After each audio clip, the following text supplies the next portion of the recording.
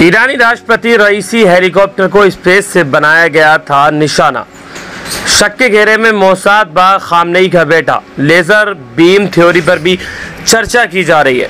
हाँ दोस्तों, मैं आप लोगों को बता देना चाहता हूँ कि इंटरनेशनल डेस्क ईरान के राष्ट्रपति इब्राहिम रईसी और विदेश मंत्री अब्दुल्लाहियान के साथ नौ लोगों को संडे को हेलीकॉप्टर क्रेश में मौत को सामान्य हादसा ना मान करके संदिग्ध माना जा रहा है।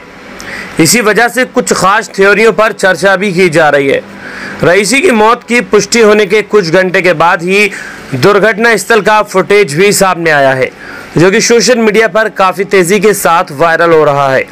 और रईसी की मौत के बाद भी ये कयास लगाए जा रहे थे कि ये मौत जो है सामान्य नहीं है, बल्कि इसमें किसी का हाथ लग रहा है।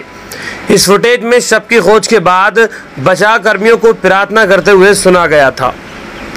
मलबे में ये संकेत दिए जा रहे थे कि ज़िंदा रहना बहुत ही ज़्यादा मुश्किल था। यानी कि ज़िंदा रहना काफ़ी ज़्यादा मुश्किल लग रहा था।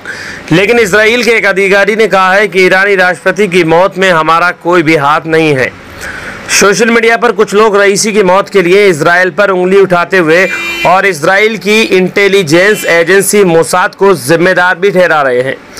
इसी वजह से हैशटैग मोसाद सोशल मीडिया पर ट्रेंड में छाया हुआ था। राष्ट्रपति इब्राहिम रईसी की मौत को लेकर के सोशल मीडिया से लेकर के सियासी गलियारों तक कई अंदेशे जताए जा रहे थे। कुछ अंतर्राष्ट्रीय साजिश की अटकलें लगा रहे थे तो कुछ अंदरूनी सियासत को जिम्मेदार भी ठहरा रहे थे। हालाँकि रईसी की मौत में साजिशों की अटकलें यहीं पे नहीं रुकने वाली। अंतरिक्ष से लेकर के अंतरिक्ष से लेजर वेपन के ज़रिए ईरानी राष्ट्रपति हेलीकॉप्टर को क्रेश करने की थ्योरी भी सामने आ रही है। कई लोग सोशल मीडिया पर कह रहे हैं कि लेजर वेपन की मदद से हेलीकॉप्टर को क्रेश कराया गया था। इसके अलावा ईरान में उत्तराधिकारी की लड़ाई भी एक थ्योरी के रूप में सामने आई है। इसराइल को लंबे समय से शिया मुल्क ईरान का दुश्मन माना जाता है। ऐसे में लाजमी है कि इसराइल को सबसे पहले संदेह की नज़रों से देखा जाएगा।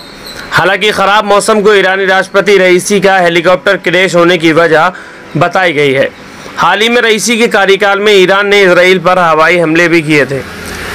एक यहूदी वैज्ञानिक बेंजामिन रूबिन स्टेन ने सोशल मीडिया पर कहा था कि हम इस घटना के पीछे इसराइल मंसूबों पर आँख मूंद नहीं सकते। इस घटना की पूरी जाँच होनी चाहिए ताकि सच्चाई सामने आ सके।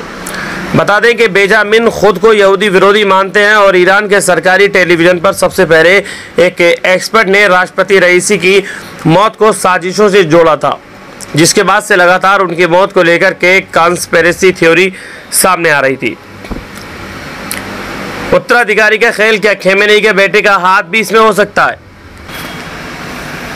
एक ख़ास बात हम आप लोगों को बता देना चाहते हैं कि रईसी को देश के सुप्रीम लीडर खमेनाई का करीबी माना जाता है। उन्हें भी खामेनई का उत्तराधिकारी भी बताया जाता है। एक ईरानी पत्रकार मसीह अली नेजाद ने एक्स पर लिखा है कि कई साजिशों की थ्योरीज में से एक ये भी है कि इस घटना में खामेनई के बेटे का हाथ हो सकता है, ताकि उनके लिए अपने पिता की जगह लेने का रास्ता आसान हो सके। एक यूज़र ने कहा है कि अगर रईसी की मौत हो गई है तो ये तथ्य है कि अगला सुप्रीम लीडर खामनी का बेटा मौज मोजतबा खामनी होगा।